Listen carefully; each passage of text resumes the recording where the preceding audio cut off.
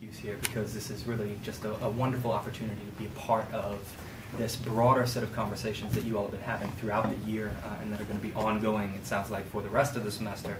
Um, I've been able to watch these sort of from afar uh, and sort of keep track of, of what's been going on. And I've been telling everybody how jealous I am that I haven't been able to be here uh, to actually see all of these uh, and participate uh, fully in all of the discussions. Um, but it's such a privilege to be able to lend my voice um, to this broader conversation that we are all now uh, engaged in, looking at some really critical issues uh, that are not only deeply relevant to our current circumstances today, but as Professor Goldman suggested, really span national and transnational boundaries across the centuries. And then putting all of these iterations of the ghetto into conversation uh, is something that I think is of great historical import um, and is a really exciting conversation uh, to be having and certainly to be a part of. So thank you both to Professor Goldman and to Professor Trotter uh, for inviting me to be a part of this series and for the work that you've done to put this together. Uh, thank you to Hikari for helping to make sure that I actually got here, which was something of an adventure, um, but her logistical support uh, and help has been uh, invaluable and is the reason why I can actually be standing here uh, and to all of you for participating uh, in this conversation and these larger conversations really throughout the course of the semester. Uh, I'm very much looking forward to your thoughts and comments and to engaging in a broader discussion uh, about what I've written here, but also about the larger themes um, that seem to have been developing over the course of the year.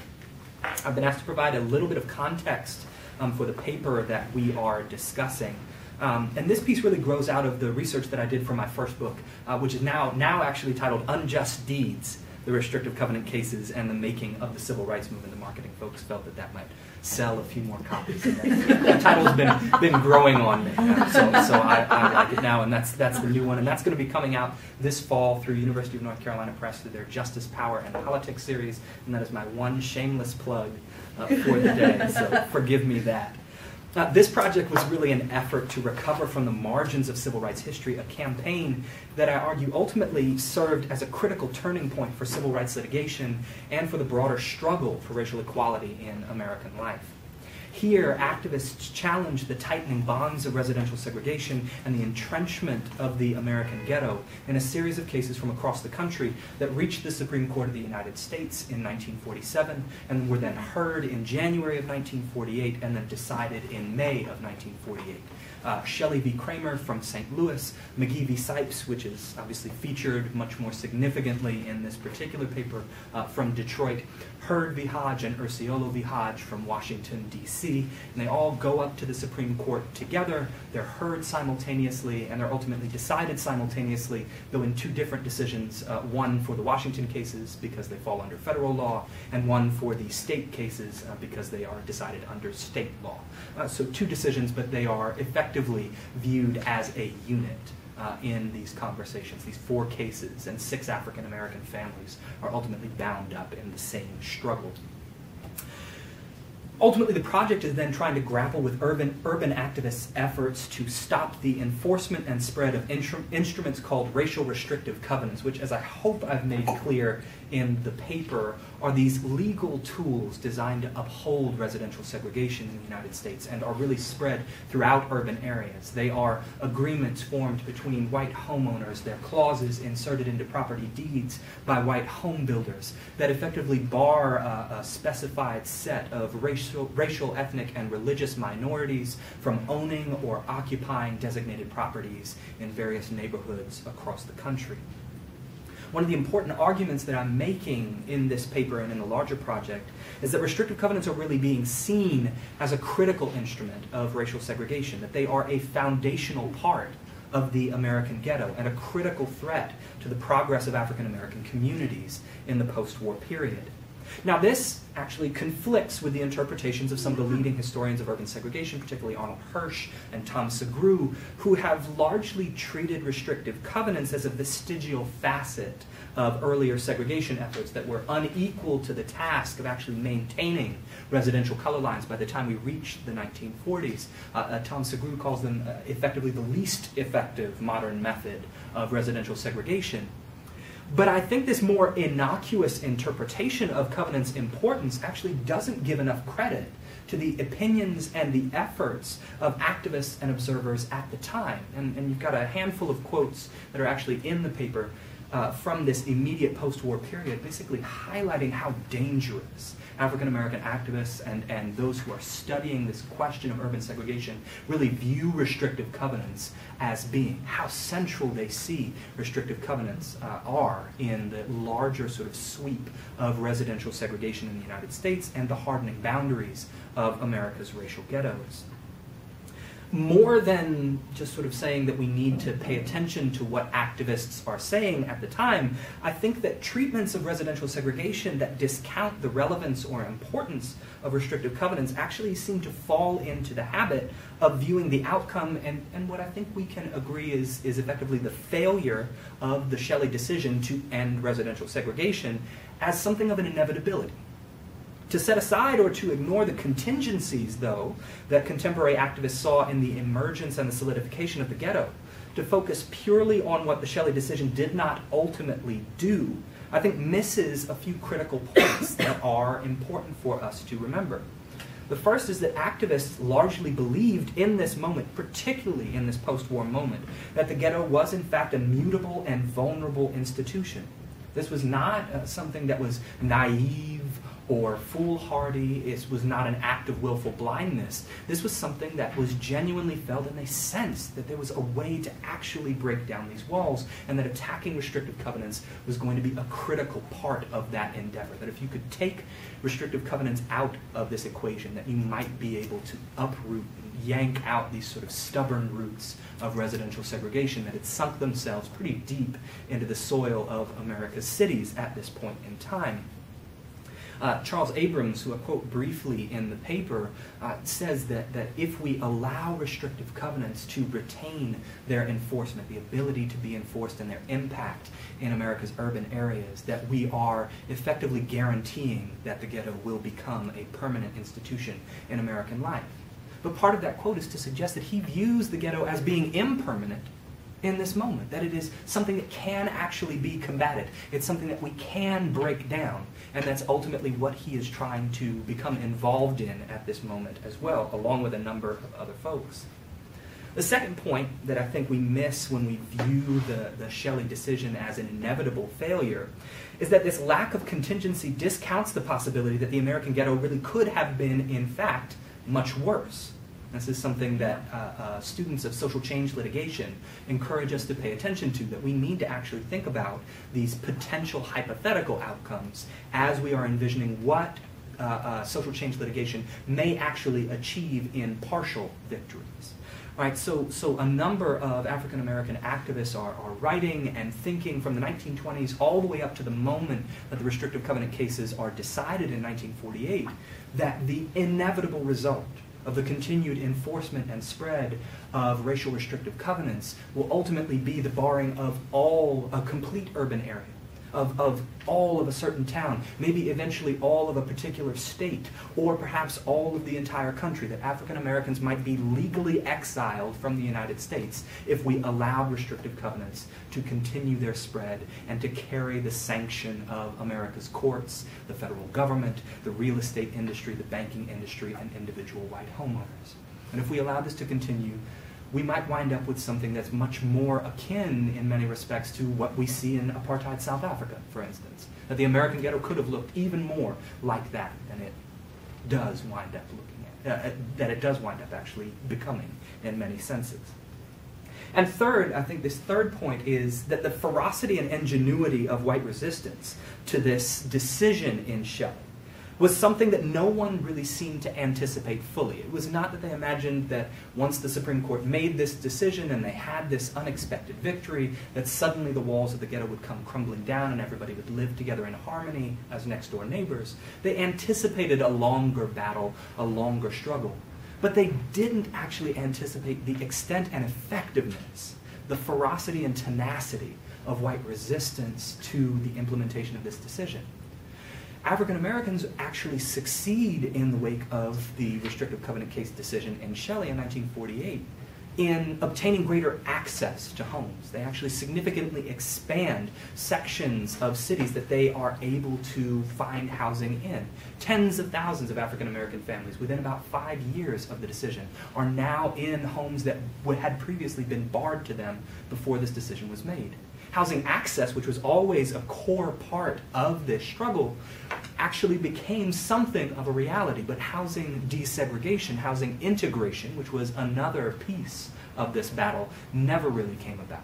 And that, I think, actually tells us less about the ineffectiveness of covenants in the 1940s and much more about the tenacity and ferocity of white segregation in residential areas. Uh, what I call in the larger project some of the most indelible color lines that are drawn in the 20th century. Right? They become innovatively defended in a lot of respects.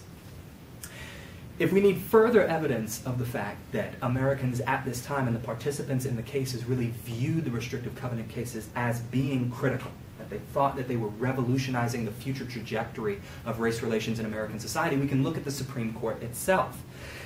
The Supreme Court justices who made this decision genuinely believed that they were transforming the field of civil rights law and that this would help to bring an end to racial injustice in the nation. Before Fred Vinson, uh, Chief Justice Fred Vinson, actually delivered his opinion, in which he read the entirety of his opinion out loud.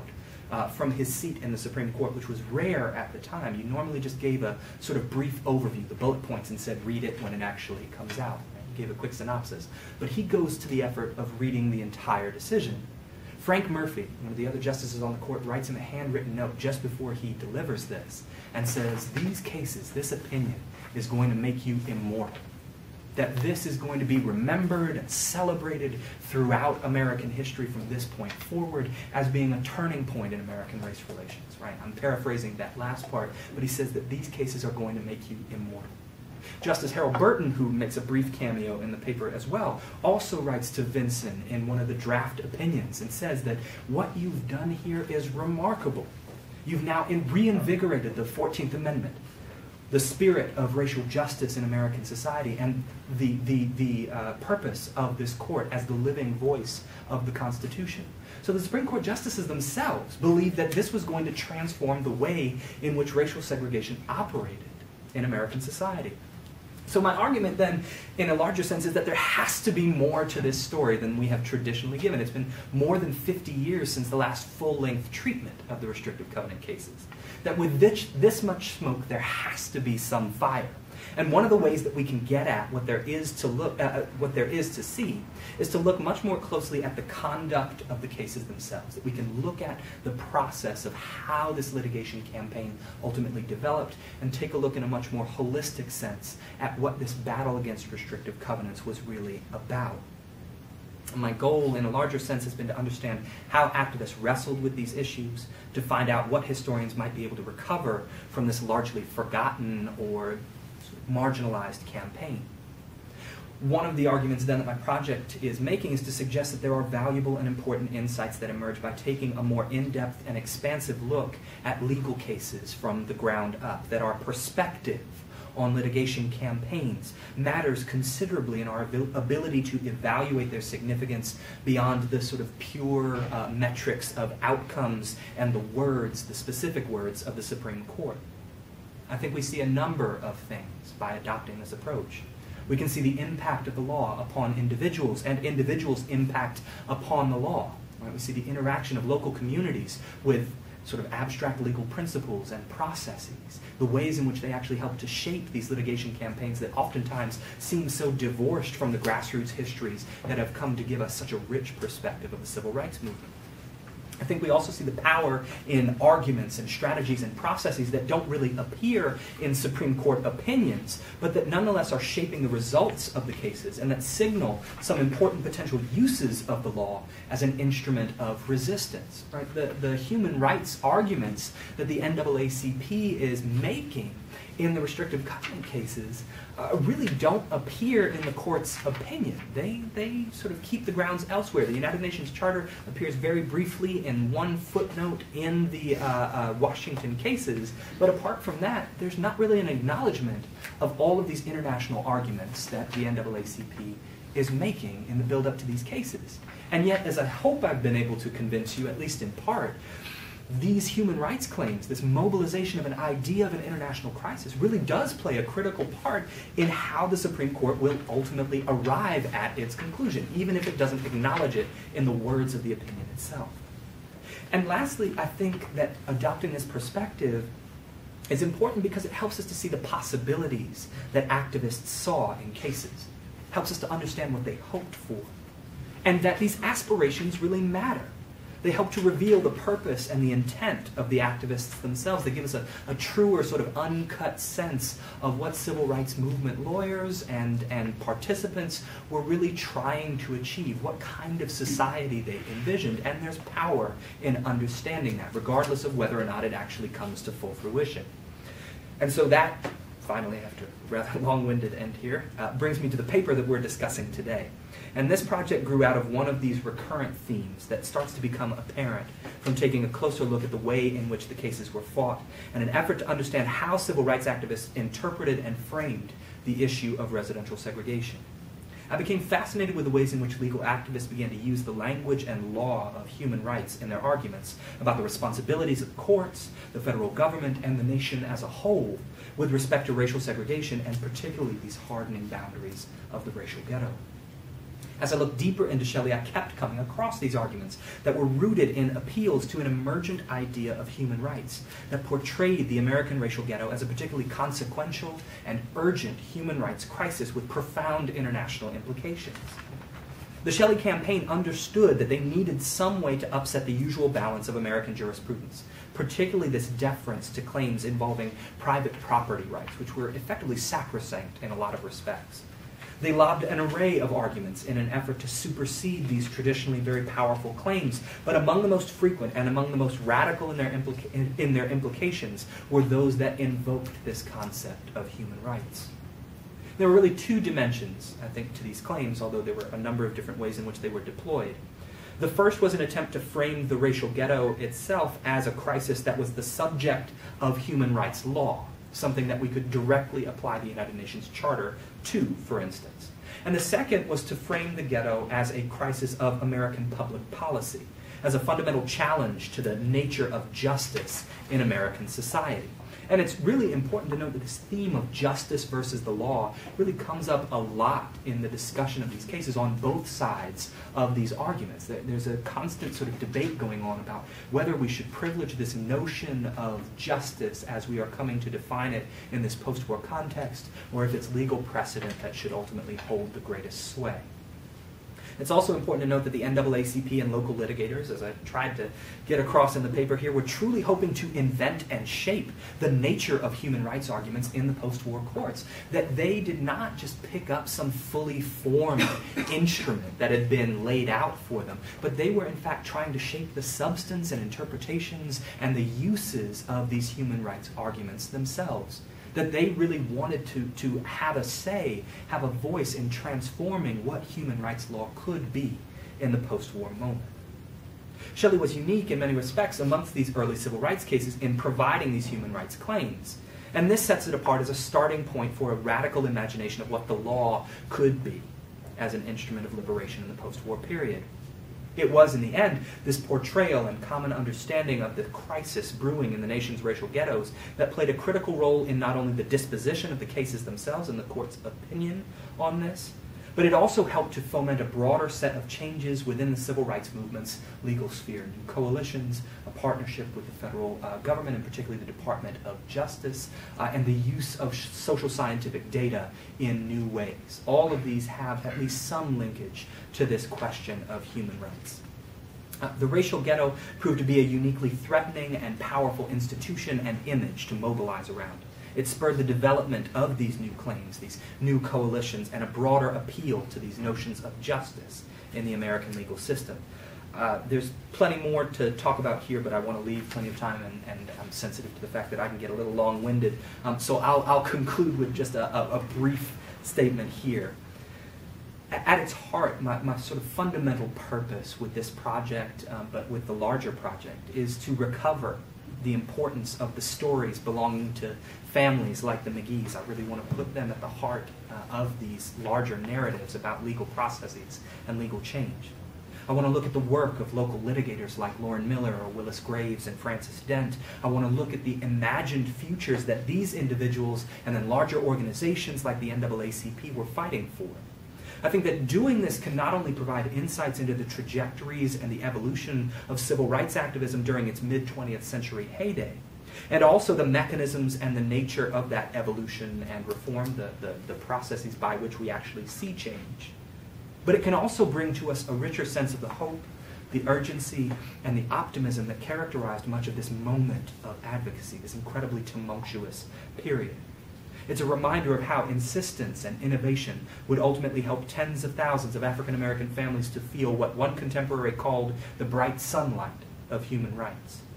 There'd be a lot of fighting left to do, as you'll no doubt see over the rest of this fantastic series. Uh, but urban activists found new ways to test the limits of the American racial ghetto in these years. And the story of their efforts and their hopes for the future matter a great deal. So with that, I will, I will turn things over to all of you, and I'm very much looking forward to your thoughts and comments.